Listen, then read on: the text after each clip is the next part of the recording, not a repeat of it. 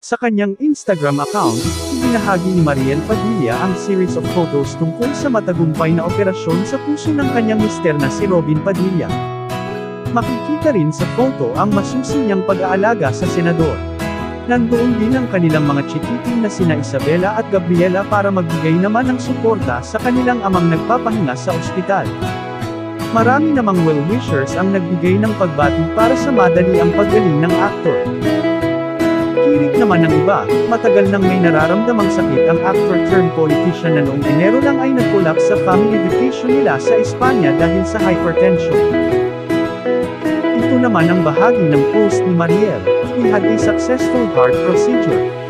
It's been a roller coaster of emotions for us but now ultimately we are just so grateful and we are so blessed that Robin is okay. Thank you for your prayers. Pinasalamatan din niya ang mga doktor at nurses na umasikaso kay Robin.